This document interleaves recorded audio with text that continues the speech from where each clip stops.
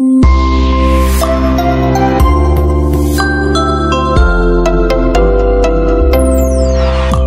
Terima kasih pemirsa Sultan TV Anda masih tetap bersama kami di Talk Show Bincang hari ini di mana pada pagi hari ini kita masih berbincang-bincang tentang uh, parenting, tentang mengasuh anak khususnya dengan menggunakan uh, sarana gadget apakah ini apakah ini cara yang tepat gitu ya. Karena seperti yang kita tahu uh, segala hal ini terkadang memiliki sisi positif dan juga negatifnya. Begitupun dengan gadget gitu di mana gadget ini banyak dimanfaatkan untuk mengasuh anak dan bagaimana caranya orang tua ini bisa memanfaatkan memanfaatkan gadget dan lebih uh, mengambil banyak sisi positifnya dan bisa meninggalkan sisi-sisi negatifnya. Nah ini kita masih bersama dengan Ibu Yayah Rukiah uh, selaku Ketua Himpau di Banten dan mungkin gimana Ibu caranya untuk orang tua gitu untuk bisa uh, memanfaatkan gadget untuk mengasuh anak tapi lebih banyak mendapatkan sisi positifnya. Gitu.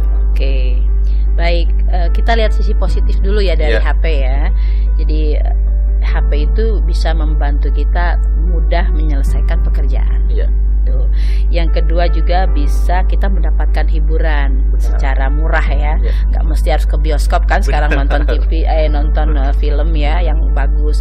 Sekarang nonton kan demam ibu-ibu sekarang nih demam drakor ya. ya, ya. Kemudian juga bagaimana juga membantu di dalam proses kegiatan uh, pembelajaran ya seperti sekarang yang ada daring yang memang membantu ya. ya. Tetapi kita juga harus tahu dulu apa juga bahaya uh, yang di, di apa didapatkan dari HP ini karena orang tua itu kan harus tahu posis, posis apa positif negatif dari HP ini. Yang dari si apa yang dari sisi negatifnya ini akan e, timbul beberapa. Yang pertama yaitu anak kecanduan atau oh, iya. ketergantungan kepada HP. Ini kalau sudah ketergantungan, ini orang tua biasanya lemah, ngalah sama anak. Iya. Nah, dengan apa? Dengan misalnya anak-anak itu mengancam orang tuanya e, kalau nggak dikasih HP dengan nangis ya. Kan nah kalau udah seperti itu biasanya orang tua mengalah. Tapi mengalah ini justru menimbulkan semacam senjata yang ampuh akhirnya. Nah, nah di sini perlu ada ketegasan iya. dari orang tua atau disebut konsistensi di dalam mengasuh. Ini yang banyak jadi jangan yang yang mengasuh jangan kesannya ibu aja gitu ya, loh. Benar, benar, benar. Ini saya juga menghimbau kepada bapak nih, yeah. konsistensi di dalam pengasuhan itu perlu kedua-duanya. Nah, ketika anak misalnya, oke okay, kita janjian ya pak besok anak nggak boleh kasih HP ya, oke. Okay. Yeah. Komitmen ketika anaknya udah nangis, udah teriak-teriak, ah, udah ada yang luluh tuh ya. Yeah sebetulnya anak itu bisa di, di, di, diredam oleh kita dengan cara konsisten. Nangis biarkan. Anak juga harus tahu anak itu harus dibelajarkan tentang nangis, kecewa, sedih, dan lain sebagainya. Sisi emosionalnya harus disentuh semuanya pada saat dia masih kecil itu. Jika kita merasakan kecewa, ya biarkan dia kecewa. Kecewa tuh nggak enak gitu loh. Jadi kalau dia nanti apa efek yang positif ketika dia belajar kecewa? Biasanya setelah dia nanti besar, dia kecewa atau diputus sama pacarnya yeah. tuh nggak nggak bunuh diri lah iya. minimal gitu ya. Itu contoh. Kemudian kan uh, kita mengajarkan dia fight secara sisi emosi dulu. Iya. Diajarkan juga uh, marah, boleh marah silakan marah. Nah ketika dia nangis misalnya, biarkan nangis. Besok dia minta lagi minta HP nangis lagi biarkan. Satu dua minggu dia belajar nangis tidak dikasih HP oh tahu mamah dan papahnya pasti tidak akan memberikan HP itu walaupun saya nangis. Iya, iya. nah itu saya sudah lakukan. Jadi saya berdasarkan uh, fakta saya. Iya. biarkan saya membiarkan. Karena apa? Dengan saya tega berarti saya sayang sama dia. Tapi kalau misalnya saya nggak tega berarti saya justru menjumuskan dia. Jadi kayak gampang nanti saya kasih HP ketika libur atau paling sejam dua jam setelah itu angkat. Dia ambil nggak marah tahu karena sudah ada komitmen awal.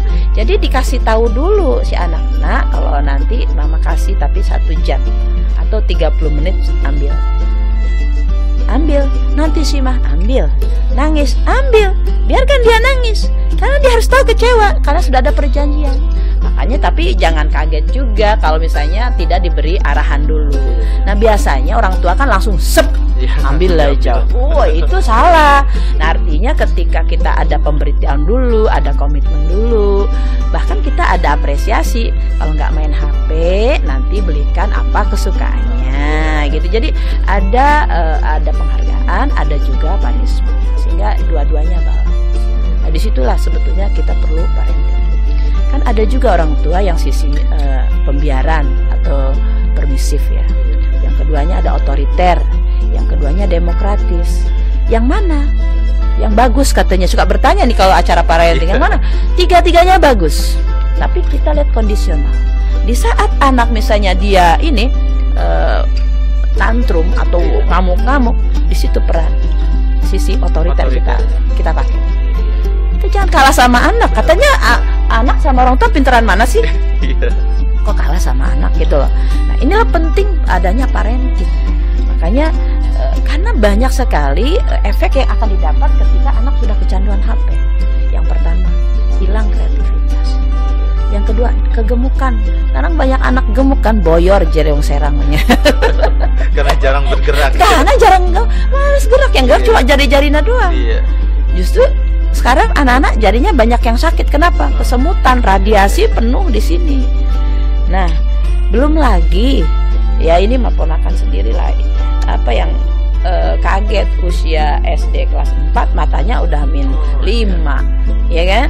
Itu nggak bisa kan nanti nyalon misalnya kepolisian iya, ya? kan harus rabun hmm. mata rabun tuh kan dihindari. Nah coba bayangkan masa depan dia itu terancam dari sejak kecil Itukah yang disebut sayang sama anak? Oh, Halo. Tentu tidak. yang berikutnya itu uh, uh, gagal mental.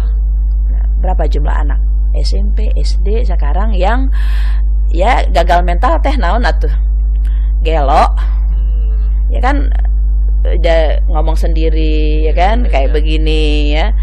Udah nggak bisa ini. Jadi harus pemulihannya walaupun bisa dipulihkan berarti kan otaknya udah rusak. Ya. Itu yang kita kita kita harus uh, jor-joran gitu loh kampanye bahwa HP itu bahaya banget buat ya. anak hal lain yaitu tadi ancaman cyberbullying. Cyberbullying. Bullying ini di di HP itu banyak ya contoh-contoh kekerasan kayak game online tuh ya. Ah, iya. Betapa mat, hatinya mati gitu. Hmm. Ketika dia dor dor nembakin orang, orangnya mati. itu kan mengajarkan dia nggak bisa tepo seliro. Yeah. Belum lagi dia misalnya yang dibacok misalnya ya kan ada yang pakai uh, samurai. Ya. Itu kan sadis gitu loh Bahkan jangan salah, ketika mendibiarkan orang tua dia akan bercita-cita jadi apa? Pembunuh. Halo orang tua, yuk. Karena meniru yang di ya, meniru yang di ini. Dan di situlah sebetulnya ada juga game online, terutama Mobile Legend itu kan ada unsur pornografi. Belum lagi hal-hal lain LGBT dunia ini begitu gampang didapat informasi di, di HP ini. Tapi yang bijak yang bagaimana sih? Iya. Nah kita kan boro-boro mau ngawasin kayak gimana, ya? Karena itu tidak disuruh, tidak disuruh dilihat juga nongol sendiri ya nggak? Hal-hal. Nah ini yang harus menjadi kita kenapa e, pembatasan lah, kalaupun misalnya nggak bisa mempergunakan HP, pembatasan penggunaan atau bijak, terutama ya yang sudah mau naik puber ya puber ini kan semua kalau pengen tahu makanya sekarang banyak sekali korban-korban pornografi yang berjatuhan di provinsi Banten. Ya jadi artinya ya nggak nggak laki perempuan yang harus dijaga sekarang dua-duanya. Ya, ini yang harus kita menjadi uh, lindungi ya. Nah, itulah beberapa hal yang jadi harus perhatian kita. Nah tipsnya bagaimana? Tips yang mungkin yang sudah yang saya sampaikan ada harus konsisten. Konsisten dulu. Konsisten. Ketika anak diambil HP-nya anak nggak nangis berarti orang tuanya sudah dua-duanya sudah memang sayang. Yeah. tapi ketika anak masih misalnya diambil HP-nya masih nangis berarti dua-duanya belum belum kompak. Yeah. mamah papahnya belum kompak. Kerjasama kerjasamanya kurang. Yuk gimana caranya? Nah pasti ada cara karena saya sudah melakukan itu.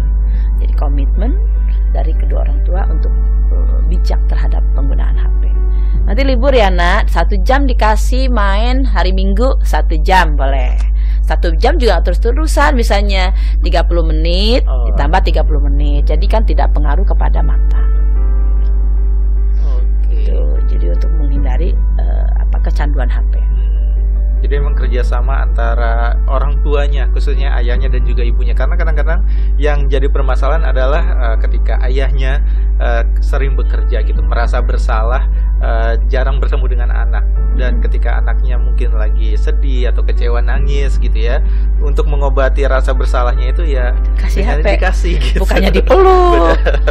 jadi Mas gini juga, ini ini ada krisis pelukan buat anak yeah. saya jadi memang hari ini kenapa orang tua kalau berangkat kerja, yeah. baik mama papanya peluk anak. Okay. Ya minimal saliman lah. Yeah. Tapi pelukan itulah sebetulnya yang menjadi obat untuk anak-anak bahwa memang orang tua menyayangi dia. Kan jarang sekarang orang tua yang meluk anak, Bu.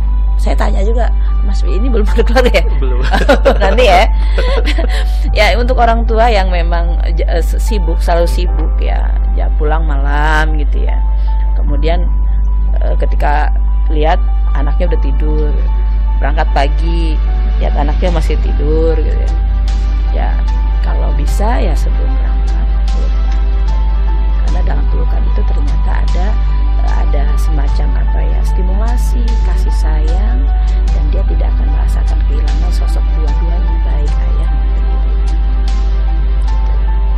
jangan dikasih HP HP nggak bisa tidak mengobati tidak, itu ya. Beda touch itu dibutuhkan banget ketika anak usia dini jadi ketika dia mendapatkan kasih sayang penuh pada masa usia dini baik oleh kedua orang tuanya ibunya atau bapaknya itu luar biasa dia akan menjadikan anak yang humble gitu ya. Kenapa sih orang itu humble? Dia kasih sayangnya penuh loh, full. Oh, iya. penuh dengan cinta, eh, penuh dari, dengan orang cinta dari orang tua. Kenapa banyak anak yang berontak? Berarti kurang kasih sayang. Kasih sayangnya berupa pengganti orang tuanya sekarang adalah HP. Jadi juga kita sama-sama ya bahwa anak kita itu harus kembali ke pelukan kita dalam artian eh, sekarang cita-cita orang tua mungkin ada yang bilang begini kepada saya. Saya emang nggak ngarep anak tuh jadi dokter, jadi guru, jadi ustadz geus lulus becena lulus SMA nggak terjadi iya. apa-apa yeah. gitu itu sudah sudah luar biasa yeah. terus lulus kuliah yeah. tidak terjadi apa-apa artinya terjadi apa-apa tuh peristiwa sekarang kan banyak anak SMP can lulus ngestekdung halo naon tekdung tuh pak? Ya kan? Uh, terus uh, kelas uh, tiga, uh, SMA lulus yeah. ya. Kok ada yang ma, apa tawuran sampai berani ngejar-ngejar orang beraninya gitu. Ini kan ada apa gitu dengan karakter anak kita? Orang tuanya ke mana gitu? Anak kok anaknya jadi seperti itu belum lagi kuliah. Kuliah makanya anak kuliahan nih. Halo anak kuliahan. Itu masih banyak yang mabar main bareng. Maksudnya kemudian mabar main bareng itu apa? Saya tanya kan saya juga kan apa? Biasa ML ya Mobile Legend itu. Ya yang yang kemarin marak. Sekarang mungkin ganti lagi deh. Uh, saya juga tidak mengikuti perkembangan ya yang terjadi nah itu akan terganggu ketika dia menyusun skripsi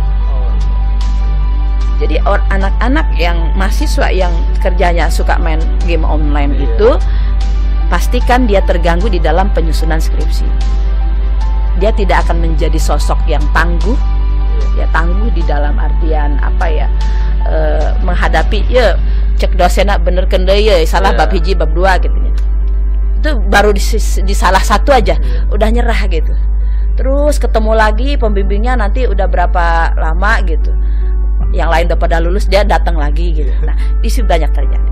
Nah mungkin ini beberapa hal yang memang harus disikapi. Jadi bolehlah kita nggak tidak akan menutup diri dari HP tetapi bijaklah dengan HP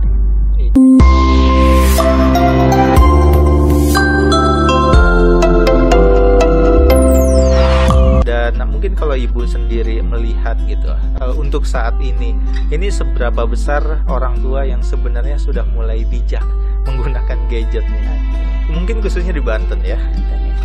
Kalau saya mungkin ya eh, melihat bahwa perkembangan gadget itu sebetulnya sangat positif ya. Yeah. Artinya positif dalam kaitan apa? Karena memang eh, manfaat dari gadget sendiri sih mudah ya yeah. untuk me, apa menjadi sebuah alat yang dijadikan e, untuk pembelajaran ya iya. sebetulnya. Yeah. Tetapi dalam hal lain kami melihat bahwa tadi dikatakan berapa banyak sih yang sudah bijak gitu. Yeah. Artinya kalau kita sendiri melihat faktanya memang banyak sekali orang tua yang abai ya daripada yang bijak hari ini.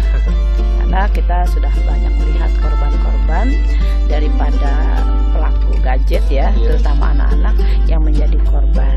Artinya dengan banyaknya korban hari ini, dengan banyaknya yang ketergantungan dengan gadget, itu sebetulnya menjadi sebuah uh, perhatian, bahkan warning keras buat orang tua.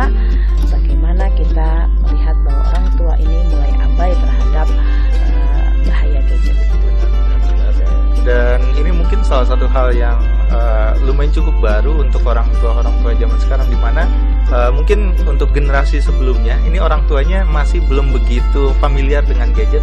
Sampai akhirnya mungkin mengasuhnya uh, tidak menggunakan gadget gitu tapi berbeda dengan uh, orang tua orang tua baru khususnya yang masih muda gitu ya di mana mereka dari kecil ini terbiasa dengan gadget. Sampai akhirnya ketika mengasuh buah hatinya ini menggunakan gadget. Ini apakah uh, ibaratnya tidak ada apa ya seperti uh, parenting cara parenting yang turun menurun gitu dari orang tua orang tua sebelumnya atau sebenarnya karena perbedaan generasi ini ini lumayan cukup uh, memutus itu Iya.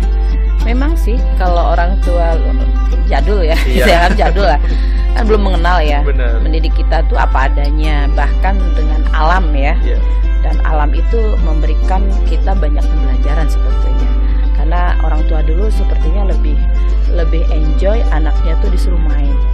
Dan memang ketika dirasakan oleh saya sendiri ya ketika orang tua saya itu membiarkan anaknya main pada masa kecil itu itu terasanya sekarang gitu ya. Terutama kemandirian ya e, kemudian beberapa hal terkait sisi sosial emosional dapat banget ketika main itu ketika lu lu jangan main jangan curang kalau main nah itu kita dapatnya pada dap, dari main kan bermain, benar. dari bermain hmm. kalau main engklek nginjek garis uh kamu nginjek enggak katanya nah, itu di situlah sebetulnya letak kita mendapatkan makna dari bermain yeah. Iya. nah sekarang kan orang tua nggak memberikan ruang itu yeah. ruang itu banyak diberikan kepada anak itu ketika yang penting anak saya diem anteng yeah yaitu disebut anak baik. Anak baik. Nah, Nah, di sini sebetulnya letak eh, apa ya perbedaan pengasuhan orang tua lama dan orang eh, sekarang gitu. Karena ada ada gadget tadi ya, terutama yang menjadi eh, kemajuannya adalah di situ. Nah, di sisi lain kearifan orang tua dulu itu ya yang memang generasi saya mungkin mewarisi uh, warisan pengasuhan orang tua lama gitu. Yeah. Dan ini penting sebetulnya ada nilai positif yang diberikan kepada orang kepada kami generasi selanjutnya untuk memberikan itu kepada anak kita yang sekarang. Nah, dengan adanya gadget sebenarnya uh, kita melihat bahwa tidak melihat sisi negatifnya, yeah. tapi ada lihat sisi positifnya. Tetapi kan pemberlakuannya untuk anak berbeda. Benar. Anak kan banyak tidak tahu dan pengen tahu. Benar. Nah, ini keingintahuan dari seorang anak itu tidak pernah dia akan bendung. Iya. Karena apa? Anak adalah uh, apa ya di masa itulah masa pencarian konsep, kemudian masa keinginan tahuannya harus tersalurkan dan di situlah orang tua peran orang tua di masa emas terutama ini penting sangat mengawal dalam pertumbuhan perkembangan anaknya. Oke. Gitu. Dan mungkin banyak orang tua yang uh, belum sadar juga sebenarnya usia emas anak itu dari usia berapa sampai berapa sih Bu? Teori sih itu usia 0 sampai 8 tahun. 0 sampai 8 tahun. Tapi kalau menurut Undang-Undang Sisdiknas itu 0 sampai 6 tahun. Oh, okay. Karena terbentur dengan SD. Yeah. Makanya saya selalu mengatakan usia kelas SD 1, 2, 3 tahun itu masih usia emas. Nah, ini penting kami sampaikan bahwa ternyata banyak uh, orang tua yang kurang paham terkait tingkat perkembangan anak. Hmm. Di mana tingkat perkembangan anak itu justru muncul saat anak usia emas di usia 0 sampai 8 tahun itu. Nah, perlakuan yang didapat anak didapatkan oleh anak ternyata banyak kesalahan. Makanya perlu ada parenting dalam lembaga PAUD maupun nggak usah lembaga PAUD lah. Kita juga harus butuh parenting nih. Yeah. karena kan menjadi orang tua kan Benar. ketika anak lahir satu dua itu tetap ada pembelajaran ya. Ada ada yang hilang oh anak saya pertama beda pengasuhannya anak yang kedua berbeda. Dan di situlah disebut orang tua selalu harus selalu belajar menjadi orang tua karena nggak ada sekolahannya gitu. Oh, tidak ada sekolah untuk menjadi orang tua. Iya betul. Itu penting. Dan menarik kalau berbicara uh, tentang uh, usia emas anak gitu ya di mana mungkin uh, kalau zaman dulu usia emas anak ini belajar dengan cara bermain gitu. Kalau sekarang mungkin porsi bermain anak berbeda dengan uh, bermain pada zaman dahulu gitu. Nah, yang paling terasa perbedaannya dari anak-anak zaman dulu yang suka bermain dengan anak-anak zaman sekarang yang mungkin uh, bermain juga, cuman mungkin uh, sosialisasi bersosialnya agak kurang. Ini ya. yang paling mencolok kapan ibu? Ya kita lihat sekarang ya bahwa contoh nunggu uh, di lembaga PAUD menunggu orang tua itu kan semuanya zikir ya. Iya. Artinya dalam artian uh, saya melihat bahwa ini sudah menjadi candu ya. Iya. Hmm. Orang tuanya dulu ya. Hmm. Lalu ketika orang tuanya dilihat seperti itu setiap hari, otomatis kan anaknya ingin. Kenapa sih mama sedang apa sih? Ketika uh, ya kemajuan teknologi iya. ada orang tua yang mengatakan bahwa uh, terutama yang uh, di kampung ya yang mungkin belum ta banyak tahu efek uh, gadget ini itu bangga gitu ketika anak kecil anak 2 tahun udah dikasih HP oh, iya. udah dikasih tablet aja mungkin ada ya usia 2 tahun 4 tahun itu sangat berbahaya sekali okay ya. Karena apa? Di usia seperti itu justru yang harus distimulasi adalah eh, saraf-saraf uh, otak melalui permainan. Oh iya. Ya. Oke, kita lihat di HP itu banyak sekali pilihan main. Tetapi pilihan main itu justru tidak membuat stimulasi otak menjadi baik. Karena apa? Ada radiasi HP yang luar biasa. Nah, sekarang udah 5 dari 3G, 4G, 5G. Nah, menurut penelitian, gadget yang radiasinya tinggi itu justru yang paling modern gitu. Oh, iya. Nah, artinya hari ini kita melihat bahwa uh, efek radiasi, kemudian efek lain sosial emosional anak tidak akan terbentuk ketika anak itu sering diberikan HP. Intinya ketika anak diberikan HP kan anteng gitu ya. Iya benar. Nah, orang tua kan bisa nyuci, iya. bisa bekerja di dapur atau bisa mengerjakan hal-hal lain. Yang penting anak gua diem. Nah, ini sebetulnya stimulasi yang salah. Stimulasi perkembangan anak usia dini itu ternyata aspek sosial, aspek norma agama, kemudian aspek kognitif bahasa, seni, kemudian aspek motorik kasar, motorik halusnya yang harus full distimulasi pada saat usia emas ini. Tapi nggak dapet kan? Iya. Nggak dapet. Artinya kalau stimulasi di contoh ya konkret sosial emosional nih. Artinya kalau gaul gaul kita berhadap-hadapan nih. Ada iya. roman muka. Benar. oh dia marah apa? Sedang iya. sedih apa? Sedang kecewa? Kan dilihat dari roman Benar. mukanya. Beda dengan yang diberikan dengan HP walaupun di HP itu kan ada ya film apalah iya, mas beda banget sentuhannya dengan uh, layar dengan uh, langsung. Benar. Ya sekarang lihatlah anak-anak nggak nggak anak paut aja ya anak SMP SMA yeah. ketika uh, pandemi semuanya kan daring. Benar. Apa yang terjadi Iya anaknya sekarang belajarnya daring. Tapi apa yang dilihat? Daring setelah lihat di sana kan Fokus anak kepada ketika belajar daring tuh Dicoba itu kalau untuk anak usia dini Ya bertahan cuma lima menit. Oh. Selanjutnya kan kagak fokus gitu. Apalagi yang orang dewasa ya Kayak SMP, SMA, SD lah. Daring tuh bosenin banget gitu ya dipasang aja itunya. Bahkan ada semacam penipuan ya. Ya ikutan di kelas itu. Jangankan anak SMP SMA mahasiswa juga begitu. Pasang layar gitu. Orangnya ke mana gitu nah itu kan banyak trik. Makanya kita juga ketika saya menyampaikan ini kepada teman-teman uh, mahasiswa ketika uh, daring perkuliahan silakan. Uh, ketika ibu absen kalian ada menjawab absen jadi melisir kebohongan ya. Artinya kan karena banyak sekali uh, faktanya terkait pembelajaran daring ini juga membuahkan sebuah apa ya karakter yang kurang bagus bagi uh, perkembangan dunia pendidikan. Ya walaupun karena pandemi kan darurat lah. Ya, tetapi efeknya kan jadi banyak sekali hal-hal karakter yang hilang. Karakter itu kan jadi penting di dalam fondasi dunia pendidikan. Makanya kenapa butuh main anak itu waktu kecil karena karakter itu dibentuk pada saat dia mendapatkan dari permainan. Oh, gitu. jadi bisa dibilang dari bermain ini anak jadi membentuk karakternya yeah. gitu dan karakternya juga kebanyakan memang karakter-karakter yang uh, positif gitu ya di mana yeah. nilai-nilai kejujuran Betul. terus juga uh, keadilan gitu ya dan yeah. Iya. uh, saling toleransi itu juga belajar dari didapatkan dari belajar dari bermain benar benar, benar. dari bermain hmm. makanya sekarang kenapa orang tua tuh selalu uh, mendoktrin anaknya yeah. harus bisa baca tulis hitung keluar dari PAUD yeah. itu yang harus kita sadarkan sebetulnya yeah. di situlah sekarang penjajahan kepada anak di situ hmm, yeah. belum waktunya usia 7 tahun atau 06 tahun ini diberikan hal-hal yang berat karena stimulasi otaknya belum dapat. Iya.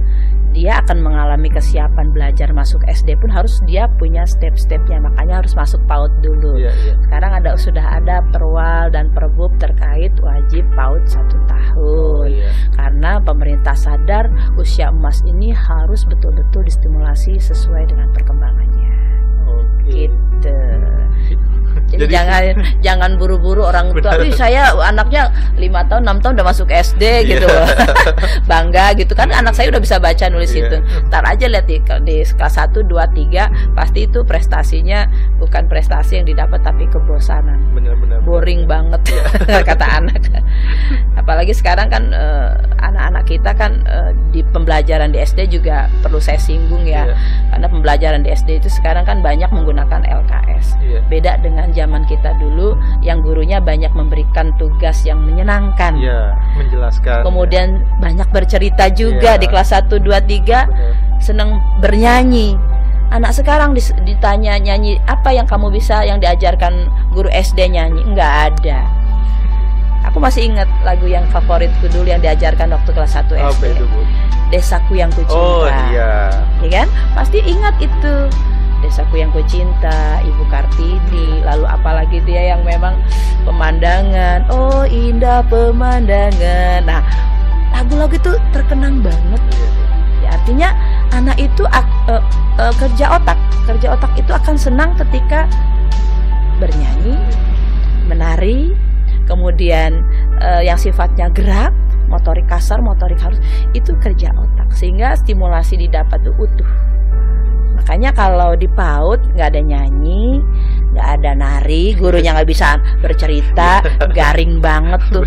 Kasihan anak. Benar, benar, benar, benar. Makanya selalu saya menekankan kepada guru PAUD uh, bisa nyanyi, oh. bisa ngaji, ya kan? Ya. Karena ngajarin ngaji juga kan. Benar, benar. Uh, kemudian bisa nari, bisa ya. bisa apa? Bisa dongeng. Nah itu modal. Bisa main drama, oke. Okay. Nah, itu sebetulnya kompetensi yang harus di di, di apa dimiliki oleh seorang guru PAUD. Tapi nggak guru PAUD aja sih. Guru kelas 1 2 3 atau guru SMP kan ada guru khusus seni tari, seni uh, rupa. Iya. Itu uh, explore ya. untuk uh, bagaimana juga membangkitkan cinta seni, yeah. budaya. Itu dibutuhkan loh dasar ini.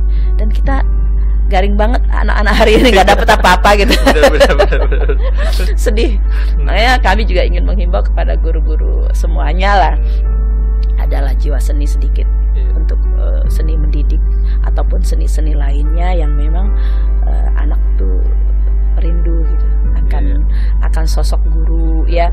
Pengganti orang tuanya di rumah yang mungkin di rumah udah dapat marah-marah. Yeah. kok di sekolah dimarahin lagi gitu ya kasihan kan bener. dengan dengan dalih disiplin makanya ketika anak yang ditanya anak SD ya yang paling senang pelajaran apa olahraga iya, bener. karena dia di luar main bisa main main bisa gerak menyalurkan ekspresinya makanya seringlah diajak main di luar jadi jangan belajar di kelas aja. Makanya kita nggak butuh ruang sebetulnya. Makanya PAUD tuh non formal. Mau belajarnya di bawah pohon, mau di lapangan bola, itu tetap PAUD. Karena ketika anak senang berarti itu PAUD banget. Tapi kalau anaknya tertekan, mama nggak aku nggak mau sekolah lagi capek, disuruh nulis baca. Iya. Aduh, nah itu sudah ada tanda-tanda anak-anak itu mengalami kebosanan dan tidak akan berkembang sesuai dengan harapan.